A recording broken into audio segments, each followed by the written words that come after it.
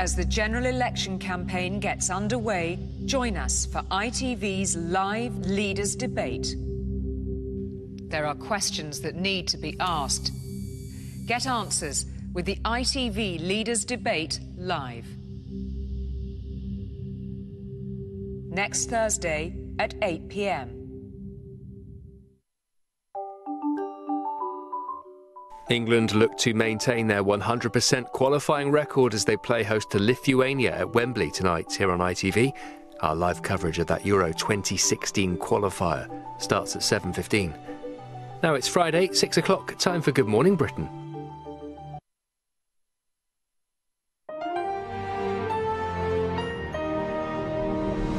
Good morning, Britain. Breaking news overnight. German police make a significant discovery at the home of the pilot who deliberately crashed his aircraft into the French Alps, killing everyone on board. We'll be live in Germany with the latest. They battled it out to convince you they should have the keys to number 10, but who came out on top in the first of the TV election showdowns? I think we're turning this country around. I'm passionate about having another term. Am I tough enough? Hell yes, I'm tough enough.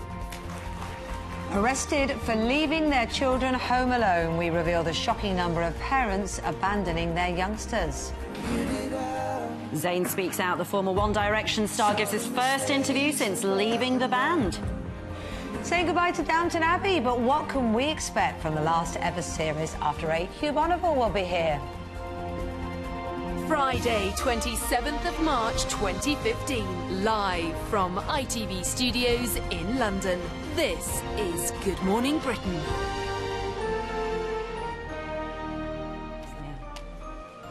Good morning. It is six o'clock. Welcome to the programme. It's feeling warm in the studio today. It's gorgeous. But that's the only place it feels like spring. That's because me and John are, are sick. get Yeah. cold all the time. and because the Alex, grown-ups yes. are away, we can get away with We it. get away with it. Friday. Exactly. Yeah, Where is the exactly. spring? Where is it? I mean, are we going to see anything of it? Uh, this no, it will be a bit more like spring over the next few days. Temperatures are going to recover, but this weekend it is going to be quite wet and windy. So hold on to your brollies. And also, it's that weekend when the clocks go forward on Saturday.